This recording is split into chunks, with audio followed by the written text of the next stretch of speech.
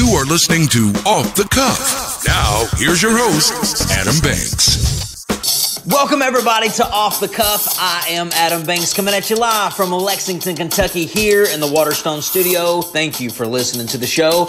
What you are hearing is the new intro slash theme music to Off the Cuff. It's been a while, it's been a long time coming. I have been using different songs periodically throughout the years to introduce the show. And one day, I was sitting around thinking, what would happen if somebody just called me up one day and said, We're going to have to take your podcast down because of copyright infringement? And I started thinking, what if that actually happened? Because every episode that I have starts out with another person's song that I don't obviously own. It could be the Beatles, it could be Drake, it could be Kanye. And a couple times I've had a few episodes that I've had to go back and redo because I've played the music too long. So I started researching and I found out that you are allowed to play other people's music, but it cannot exceed 30 seconds. So anytime you go over 30 seconds, they could potentially make you take it down because you are using their music without their permission. A couple artists who have made me take their music down has been Drake, Kanye West, and Eminem. Those three people do not like their music used. So now it feels good to actually have music that I own. And I started to think about that. I own this music. The beat that you heard in the background, that is the music that I own. It was awesome being a part of the creative process.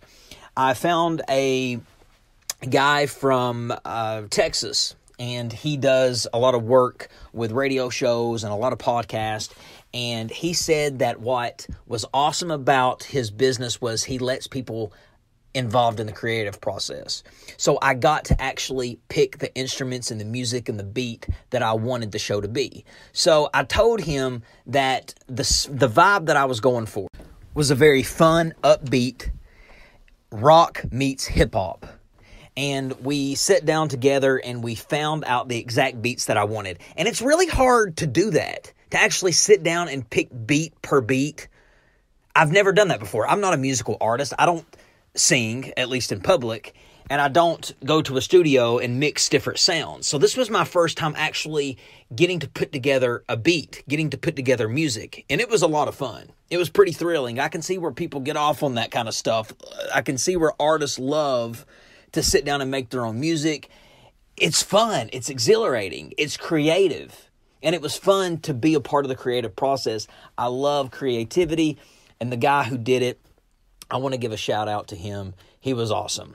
This is going to take a little bit to get used to. Usually, I love coming in to different songs and it just it gives the podcast less monotony and it gives it something new and fresh every single week. So, I don't know how I feel about coming into the same beat every single week. So, what's good about that is I do have this guy's voice to do my voiceovers and I can include another beat with it as long as it don't exceed 30 seconds. But what's cool about this intro, that's the official intro. I do own the music and I can play that music in the background of the entire podcast and it would be fine. Adam Banks owns that music. And it's pretty cool. I've never owned a piece of music before, and that's what's cool about it. Now, it did take some time to find the exact perfect beat that I wanted. That is not the original beat. That's not the original theme song that was first sent to me. I didn't go through this company that I went through before. I started out researching, looking for different companies that did this kind of stuff, and I found a company. I'm not going to say who it is, but he sent me something that I was so devastated over. I mean, I was disgusted with the beat that he sent me because it was totally not off the Cuff's vibe. It was not the personality of off the cuff. It sounded like a coffee shop podcast.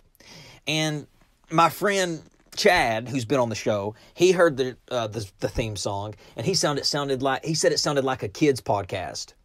He said it sounded like something that belonged on Blues Clues, and I was like, yeah, that's got to go, and it did. And I'm going to play you what this company originally sent me for the intro for the official theme music of Off the Cuff. Now, I want you to imagine this being the actual theme song of Off the Cuff. You tell me if you would get excited to hear the rest of the show if I came into this every single time that I recorded an episode.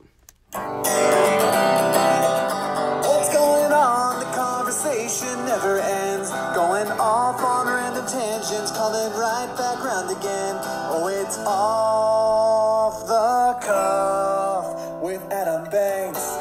So it's very catchy, and I do like it, but it sounds like like what Chad said, it sounds like a kid's podcast, or it sounds like a show that would be talking about books in a coffee shop. It does not fit the personality of off the cuff. So I'm going to keep that. I am going to keep it, and I might play it just to pretty much make fun of it. But thank God I officially got a podcast intro that came through that fit the personality. All right. Well, a lot has been going on, ladies and gentlemen, since we have last done a podcast. Election day is approaching here in the United States, and this is the national election. Everyone across the entire country votes on Tuesday. That's the official election day for everybody. Now, everybody's primary is different. Here in Kentucky, we do our primary elections in May, and then some other state might do their primaries in March or February. But in November, the whole entire country votes on that one day, election day.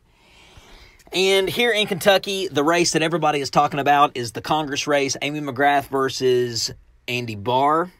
I'll tell you one thing that is going to be the first time that I do a throwaway vote in my life. And as a citizen, I have the right to do whatever I want to do with my vote as long as I exercise it some way. And I am not going to go for Amy McGrath or Andy Barr. They're both crooked politicians that have no idea what they're doing, and they're not in it for the best interests of the people. And I will write in myself before I vote for one of them. So save your mail, quit mailing me 50 cards a day. I'm serious. I open my mail. I can go a day without checking my mail and open it the next day, and it's full of Andy Barr and Amy McGrath newsletters and postcards and envelopes with it's aggravating. So I cannot wait for this election to be over just simply to be done with getting the mail. Also, today is daylight savings time. And daylight saving time is when you either set your clock up or you set your clock back exactly one hour. And this time we set our clocks back. So right now the time is 3:55 p.m. Yesterday the time would have been 4:55 p.m. So we have fallen back. In the fall we fall back and in the spring we spring forward. So why do we even have daylight savings time? A lot of people ask that. A lot of people are always wondering why do we even have a daylight savings time? It's a long history that we've been doing this. So if you do some research like I did, because I wanted to find out why do we still do daylight savings time? I like the old time. I like it getting darker later than darker earlier. The day's better, you get more sunshine, the days are longer, and we need more sunshine. Obviously, with more sunshine, people are happier.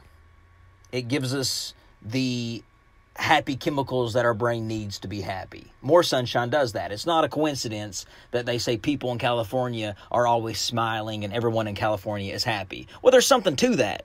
California has a lot of sunshine. Sunshine makes a lot of people happy. It gives a lot of people the dopamine that they need to be happy.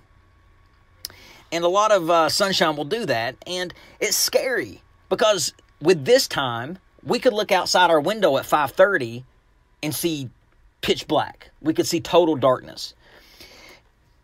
Every single day with this time, the time it gets darker earlier and earlier, all the way up to December 21st. That is the shortest day of the year, and I think it's pitch black by like 5:15.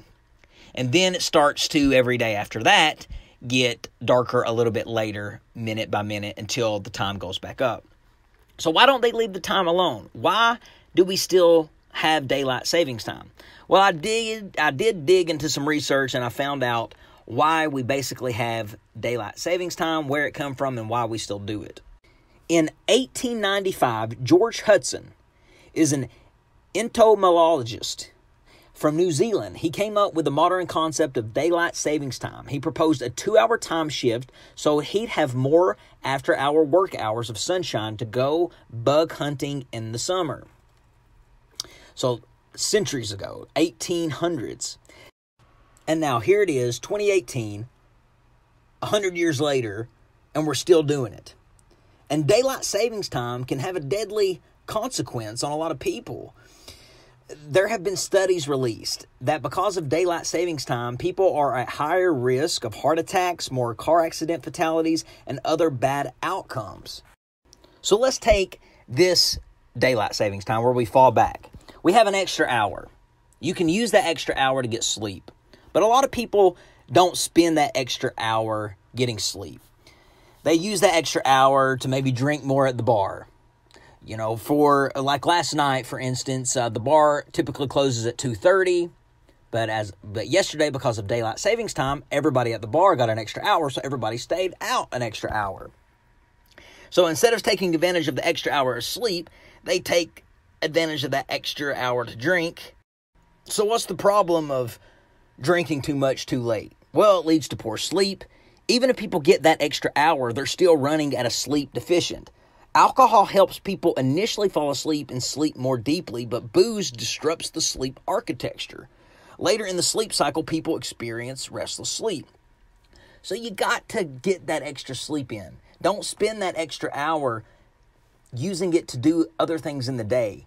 Use that extra hour to sleep.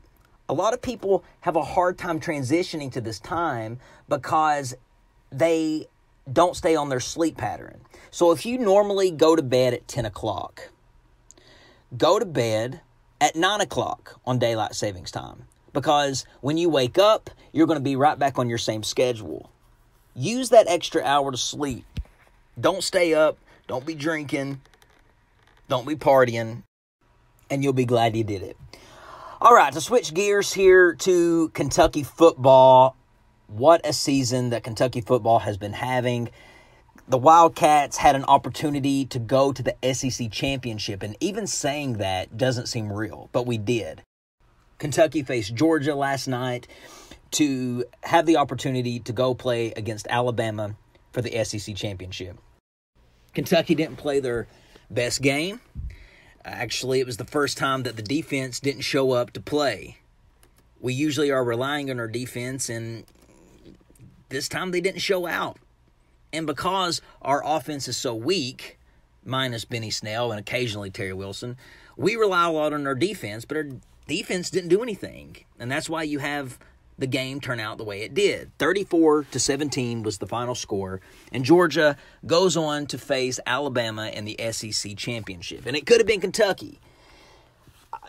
Guys, I have said a lot about Mark Stoops. I have been pretty colorful about Mark Stoops, how he's been as a football coach for a long time. And I have to give credit where credit is due. This year, he did an outstanding job. And as a Kentucky fan, I could have not have asked for a better season. And I want to thank Mark Stoops for this wonderful season. And I don't want to apologize to Mark Stoops because someone who makes $3 million a year can get criticized.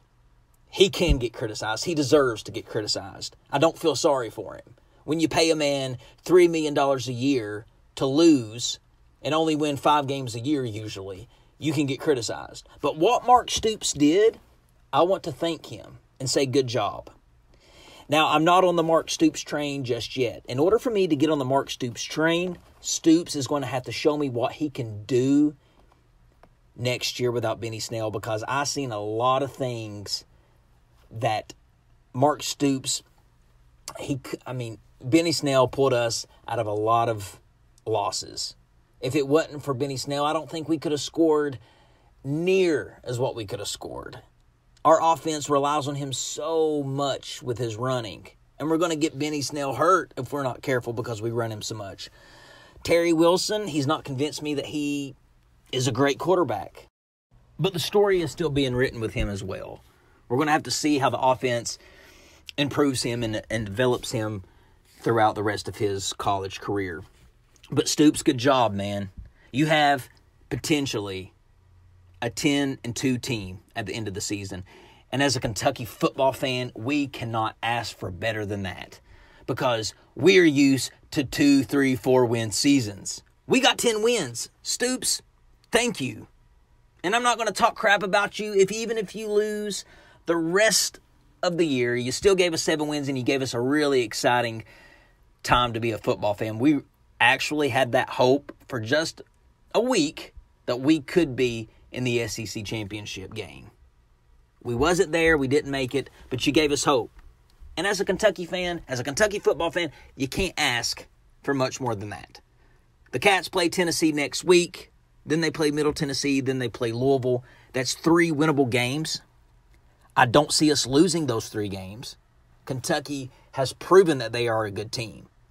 Before Mark Stoops teams in the past, I would say, well, you know, it's still up in the air. We could get beat by Middle Tennessee. I mean, because we have been beat by teams like that. Central Michigan, for instance, or Southern Mississippi. Not Central Michigan, Southern Mississippi. So we have been beaten by pretty bad teams before, so it wouldn't be a shock if Middle Tennessee beat us last year or the year before. But this year, that would be a shock. But it's not going to happen. Kentucky's going to win out. They're going to win out against Tennessee, Middle Tennessee, and Louisville. At least I hope. But even if they don't, I'm not going to say anything about Stoops because he gave us one of the most exciting years as a Kentucky football fan that we have ever had. It's definitely been the most excited I've been. And I've been a Kentucky football fan for 11 years. And these football fans of 30, 40 years, they probably would say this year was the most exciting team that they've watched since their time as a fan. And you can't ask for much more than that. But again, I'm not on the Stoops train yet. He's going to have to stay consistent. He's going to have to get us to a bowl every single year. He's now set that he has set that bar to where we need to be at a bowl. And listen, when you're getting paid millions of dollars, I can say that. When you're getting paid millions of dollars you can have me get on my podcast and talk crap about you if you're not doing that. Now, if you were making forty, fifty thousand dollars a year, I can see you commenting back to my podcast and saying, "Adam, shut up, leave him alone." But we're paying the man millions of dollars to win, and if we're paying him millions of dollars and he's not giving us at least a bowl appearance, then I have the right to complain. But football season, it's almost over, and I'm sure we'll talk about it as it continues because we're going to be in a good bowl. Regardless, Kentucky's going to be on a good bowl. And I plan on doing a football podcast with the football crew very soon here on the podcast to talk about the bowl, to preview the bowl. Some potential bowls that I've seen us in is uh, the in a bowl against Ohio State. I'm not sure what bowl it is. They have so many different bowls. But we're not going to be in a toilet bowl this year. We're going to be in an actual legitimate bowl playing a team like Ohio State. And that's exciting. That's fun. But Kentucky basketball is right around the corner. As a matter of fact, this Tuesday, the Cats have their first game against the, the Duke Blue Devils. The number one team in the country versus the number two team in the country, Duke being number one. And I tell you, Duke looks good. Duke looks really good. They beat a team by damn near 100 points the other night. Granted, it was an exhibition game, but Duke is good. And what a recruiting class they have. I've been pretty bold by saying that Kentucky's going to go 40 and 0 this year in basketball. Uh, after seeing their exhibition games, that makes me want to withdraw that comment, but I'm not going to. I'll stand by it. But I'm not as confident watching Kentucky in these exhibition games as I was in the preseason before these exhibition games. It scares me a little bit. But it is exhibition games. It's still early. It's still just early November. You really can't see how your team's going to be in March until you get to around January, February. And I think this team is going to be able to do some great things and potentially, potentially win the championship. Now, I got an opportunity to go onto another podcast and preview the Kentucky basketball season for this year. I went on Friends in the Corner podcast, hosted by Dan Polly. You can check out his podcast on iTunes. But he had me on his podcast to preview the Kentucky basketball season. And what I would like to do is let you hear some clips of that interview that he did with me. And the reason I want to play you these clips is because Dan asked me some very interesting questions. And I think he asked me some very important questions that needed to be answered. And one of the questions that he asked me was Is there any pressure on Cal to win another championship at Kentucky? So take a listen at some clips of the interview. And here is a clip of Friends in the Corner podcast of Dan Polly asking me that exact question. Take a listen. and we finally get into uh, March Madness. And the last couple years, we've had some early exits out of March Madness here. So I want to ask you: Do you think that there is more pressure on Cal this year to um, go further in the tournament um, than there has been maybe in previous seasons? Yes. Uh, the book is still being written for John Calipari. His legacy at Kentucky is, without a doubt, going to go down in history as one of the best eras of Kentucky basketball. I mean, what's not to love about Calipari in his era? He has won 81% of his games. Um, he's taken us to what, four or five Final Fours. Final Fours have been the two championships and one one. Yeah, he's So- won. He's won one, but this is why Calipari needs one more. He needs one more, Dan, before people leave him alone and people shut up. Because if he wins one more, it's going to sh- silence the national media.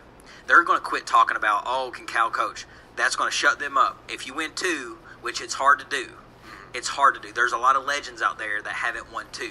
I mean, you got Roy Williams, you got Rick Pitino, you got Coach K, who have gotten there. Um, Villanova's coach, I can't remember his name off the top Uh, of my head. Jay Wright. Jay Wright, he's one yeah. too. Yeah, there have been a few coaches to get there, but it's hard. There's a lot of great coaches that haven't, and uh, Calipari is one of them. But he needs another one to silence the Big Blue Nation. And I say this because even though that we've had all these great things happen under the Calipari umbrella, this era of Calipari, um, there have been some disappointing losses in the tournament that can get fans frustrated. I mean, we went uh, 39 and one. That frustrated the heck out of it. Still frustrates me. Uh, we took a um, an exit from the game we went to the championship game in back in 2014. Now, even though that was special, it still was so close enough to make it frustrating. So we've had the number one recruiting class every year. I mean, we're we're outstanding. We have all this talent and only one title.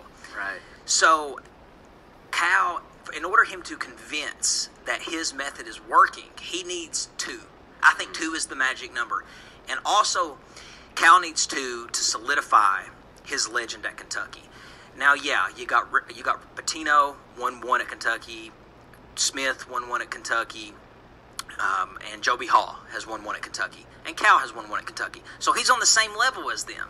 But and if you want to start getting buildings named after you and courts named after If you, you want Cal Cal Court and you want Cal Arena, you have to have at least two. Right. You can't do it with one. So yes, I think it is important, and fans are going to start growing more and more frustrated if he does. Yes, he wins, and any, I think it's stupid that anyone says they should fire Cal. yeah. Go. Who home. who are you gonna get better than him? You're not. yeah. Oh, So that's one question that Dan Polly asked me. And another question that he asked was about this new G League contract, where the G League is going to be giving select $125,000 contracts to seniors in high school to skip college and go directly to the G League. So they forfeit their college eligibility. And I like this question because and you'll hear in my answer that it puts to rest the debate of is or should college athletes be paid. So take a listen at the question and the answer that I give on this segment of Friends in the Corner podcast. more than one. And when you know this might all change next year. Yeah. With uh, stuff here, I've, you've heard all about the G League stuff going on here. Yes. And so, just to fill people in here, um, it's been announced, I think, within the last couple of weeks or days here, that the NBA G League is going to begin offering contracts to uh, quote unquote elite players um, to start in the G League instead of going to college. So they'll be able to go straight into the G League, play there, and then they'll be able to be drafted. I'm assuming in the NBA. Now they didn't, they don't say how many contracts are given out or how they're going to be distributed or when it, but. I mean, this does have an impact on Cal's recruiting. And this has an impact on Duke's recruiting too. But Cal, who has been the face of the one and done program, um, or the one and done process, um, it really kind of will be interesting to see how that will work out for him because he'll he'll still get big recruits, I'm sure, but. Will those players stay longer? Will they, you know, will they, you know, still be kind of a one and done process? Will that kind of trickle out? But it's kind of going to be interesting to see. It will. Not only is this big and a game changer for John Calipari, this is a game changer for the sport of college basketball. So the D League, or the I'm sorry, the G League, League, G League, they're, they're putting money into call it the G League. the G League, the Gatorade League, formerly the D League, um, right now uh, has uh, they have come up with a figure of $125,000, and they're calling these select contracts for freshmen that they feel like are good enough to not have to go to college, come to the G League, develop, and then hopes of going uh, to the next level. so, so that they can be freshmen in college. They're not going to recruit them right out of high school. Uh, uh, did I say freshman in college? Yeah. Okay, so seniors. I'm sorry, seniors right out of uh, high school. Yeah, Okay. So it's not freshmen in college. Just It's- wanted to make sure because I was like, then Cal, then Cal's doing okay. Yes, yes, it's it's seniors uh, right out of high school. So this is huge for the sport because I like that they're doing this, and I'll tell you why. One, it's going to put to rest the conversation of should college athletes be paid. Because listen to this, this is interesting. As it currently stands, college athletes get a free college education plus access to top quality coaching, medical care, strength and conditioning training, and valuable me- media exposure.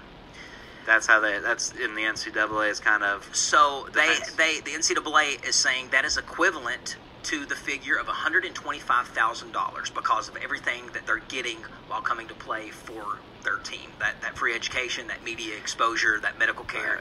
You know what else is the equivalent to one hundred twenty-five thousand dollars? What? One hundred twenty-five thousand dollars. Exactly. So that's why the G League, I feel like, didn't just throw out this random number. I think they went to colleges or to someone over this who's in college athletics and they said, What do you think? Put a value, a number on what you think uh, students are getting in return from going to play for your school. And they probably put a $125,000 value on there. So if you still have students that are seniors in high school that still choose to go to college over taking $125,000 cash in the in the G League, that right there answers the question that college basketball is more valuable than going to the G League. And college basketball is you don't have to pay the players because they're still choosing that exposure, they're choosing that medical care, they're choosing that um, education in return for um, instead of the money. So Right. that just kind of puts to silence that whole oh should college athletes be paid? Well, right now if if they're choosing to go to college over joining the G League, Well, and you know, I've always thought about this too when it comes to college, college athletics and stuff like that. So we'll stop it there. But that's true. I thought that was pretty interesting questions, and I thought that was something that I wanted my audience to hear as well. So, like I said, if you want to hear the rest of the interview, go to YouTube, go to iTunes or SoundCloud, Stitcher. He's on a bunch of places. And uh, check out Dan Polly's podcast, Friends in the Corner, and check out his episode featuring me talking about the Kentucky basketball team. It's episode 12. So check that out. Well, ladies and gentlemen, I want to thank you for listening to another episode of Off the Cuff. It has been great to have you listening, and I hope you enjoyed the theme song, as you can hear playing in the background. Well, ladies and gentlemen, I'm Adam Banks. To keep up with Off the Cuff, follow me on Twitter, AdamBanks88. Find us on iTunes. Find us on YouTube and subscribe. Or you can also check out the Facebook page, facebook.com slash off the cuff with Adam Banks, to keep up with every episode that we have done here on Off the Cuff. Thank you for listening, and I'll see you in the next episode.